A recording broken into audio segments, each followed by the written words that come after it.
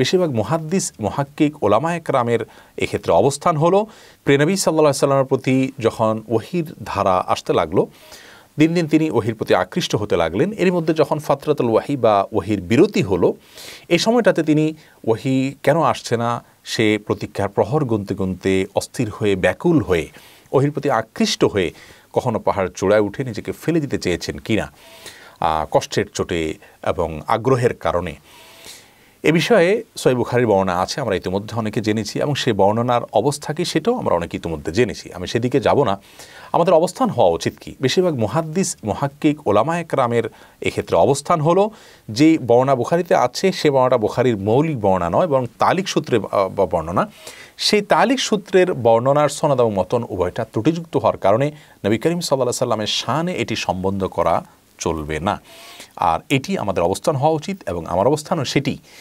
কিছুদিন আগে কোন এক মাহফিলে একজন প্রশ্ন করেছেন, এ বিষয়ে প্রশ্নের উত্তরে আমরা যা বলেছি সেটি আমাদের বক্তব্য নয়। সেটি ইমাম কাস্তান রহমানুল্লার বক্তব্য, যিনি সাদুসারি সৈবুখারির বিশ্ব বিখ্যাত ব্যাখ্যা গ্রন্থ সেটির রচয়িতা এবং আরও অনেক মহাদিস মহাক্কিক এবং সারে হাদিসদেরও বক্তব্য। যদিও তাদের বক্তব্যের চাইতে জমহরের বক্তব্যই অধিকতর গ্রহণযোগ্য এবং সেটাই আমাদের বক্তব্য। তারপরে সেটি তাদের বক্তব্য হিসেবে একটা জবাবি বক্তব্য ছিল যে এটা আত্মহত্যা নাজিল হওয়ার আগের বিধান। অনেকে বলেন, আত্মহত্যা তো আগের শরীরগুলোতেও হারাম ছিল। আগের শরীরতে হারাম ছিল, ঠিক আছে।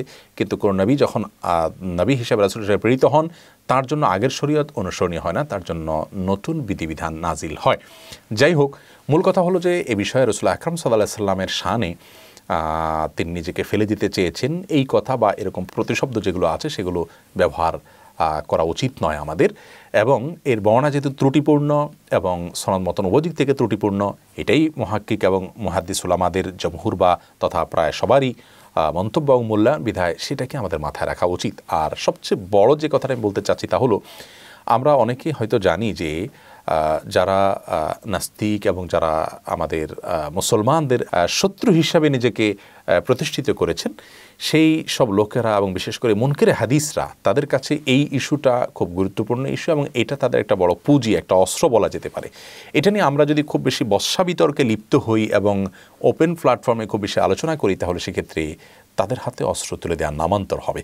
বিধায় এ বিষয়ে আমরা আল্লাহর ওয়াস্তে খুব বেশি বক্তব্য, পাল্টা বক্তব্য, তর্ক, বিতর্ক এগুলো না করি।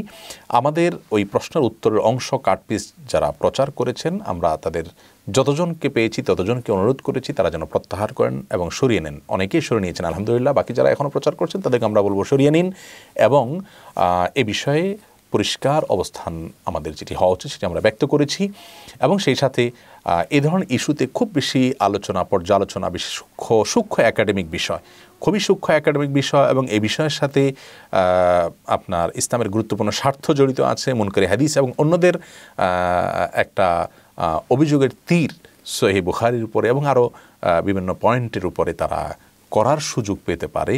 ইতিমধ্যে তারা করেছে, করে, কিন্তু এখন আমরা নতুন করে আলোচনা যদি খুব বেশি করি তাহলে আমাদের কথার ফাঁক ফোকট থেকে তারা সেখান থেকে কোট করার সুযোগ হতে পেতে পারে। এই জন্য এ বিষয়ে খুব বেশি আলোচনা, পর্যালোচনা না হয়। আমি সমীচীন মনে করি, আল্লাহ রবুল্লাহ আমাদেরকে সঠিকতার উপরে চলার তৌফিক দান করুন।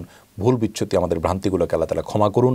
হেদায়তের উপর আল্লাহ তালা অটল অবিচল রাখুন। প্রিয় নবী সাল্লাহ সাল্লামের শান এবং মর্যাদা আমরা যেন অক্ষুণ্ণ রাখতে পারি, সেই তৌফিক আল্লাহ আমাদেরকে দান করুন।